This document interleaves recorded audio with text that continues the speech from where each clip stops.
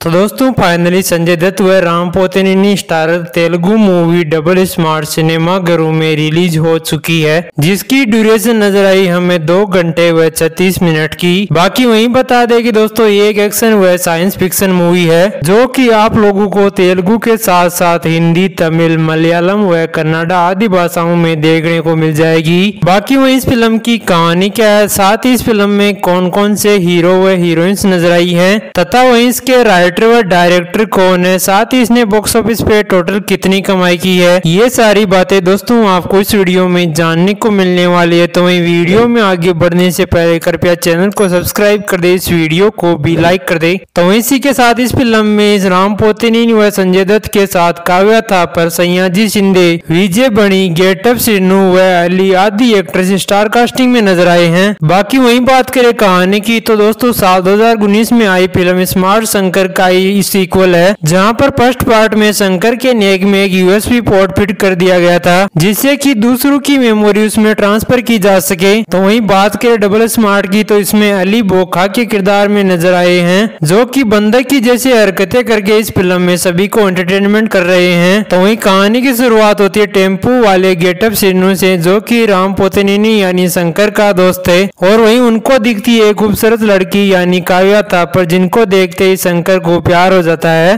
और वहीं Shankar daily daily Kavya तापर को प्रपोज करते हैं तो वहीं फिर धीरे धीरे वो भी उनसे प्यार करने लग जाती है। लेकिन वहीं एक बिग बुल नाम का डॉन है, जो कि दो नंबर के सारे कारोबार करता है। लेकिन वहीं उसे डर है कि ट्यूमर से कहीं उसकी मौत न हो जाए और कहीं उसकी सालों की मेहनत बेकार न चली जाए, कारोबार खत्म न हो जाए। इसलिए वो अपनी मेमोरी किसी ऐसे बंदे में फिट करना चाहता है, जो उसके बाद उसके कारोबार को संभाले, जिसके लिए वो शंकर शंकर को चुनते हैं और शंकर में मेमोरी ट्रांसफ़र भी कर देते हैं। तो इसी बीच हमें ढेर सारी कॉमेडी और रोमांस नज़र आता है। बाकी वहीं शंकर बिग बुल बन के क्या कुछ करने वाला है जानने के लिए फ़िल्म ज़रूर देखें, जिसके डायरेक्टर है पूरी जगन्नाथ। वह साथ चैनल पर नए चैनल को सब्सक्राइब कर दे, इस वीडियो को भी लाइक कर दे। तो दोस्तों, मिलते हैं इंटरेस्टिंग रिव्यू के साथ। तब तक के लिए गुड बाय टेक केयर